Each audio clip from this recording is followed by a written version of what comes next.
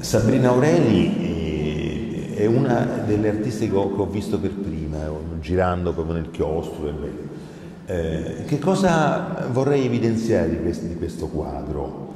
Eh, poi torniamo indietro, andiamo avanti e parliamo delle, delle, così, del percorso, no? Romana, che è 65, che è un bell'anno, una bella generazione, voglio dire.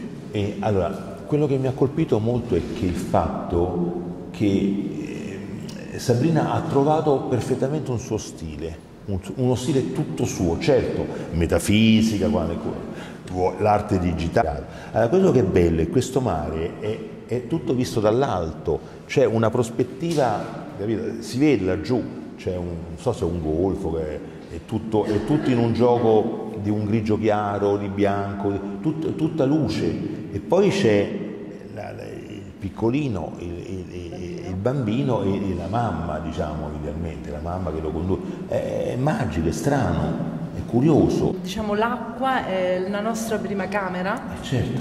E la ecco, madre ecco è il mare. E questo il, il gioco. mare è, è, fa parte del nostro habitat, esatto. perché noi nasciamo nell'acqua, nelle acque materne. Chiaramente quindi, eh. sono figure simboliche perché certo. la nudità poi è diciamo purezza, certo, questo è certo, il discorso, la mamma e il bambino è proprio la simbologia, noi siamo degli esseri spirituali venuti sulla terra per fare un'esperienza. Sì, sì certo, certo, lo penso anch'io profondamente. E quindi c'è questo connubio tra il mare, che è la nostra prima casa, diciamo, dove nasciamo, certo. e il cielo. Mi ha affascinato molto il gioco che non è architettonico, a questo punto diventa profondo, esistenziale, intimo, sì, esatto. eh, del, del, del, del, luogo, della scenografia intima, in un certo tu crei questo grande spazio meraviglioso ed è lo spazio anche che noi abitiamo, che, esatto. che, ci, che ci, abita è, addirittura. Diciamo è anche una descrizione dell'anima, certo, se vogliamo, certo, dove noi vediamo attraverso una finestra un infinito che è come la poesia. Questo è ancora più bello, questa è la porta del cielo. Madonna, praticamente. Eh sì.